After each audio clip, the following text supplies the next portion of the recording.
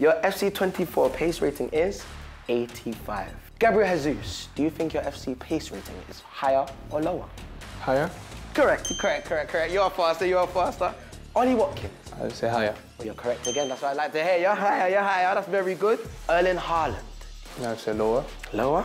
Correct again. I can give you. You are lower for that one. He's got 89, but still very, very good. Bryan Mbeumo. Is yours higher? No, lower, lower. This guy loves to run. He loves to run? Yeah. I can understand. Well, you're wrong. No! You're wrong. I don't know if he's going to be happy about that, so don't say that I told Yeah, you that, because yeah, he might come for me later. But you have actually got a higher. Diogo Jota. Do you think you're higher or lower? Higher.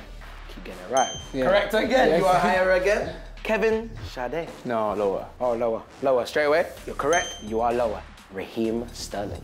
No. He's a car. I'm going to surprise you. Equal. No! The same pace rating. Do you know what that means? You're like a car. You go. This guy is a Ferrari.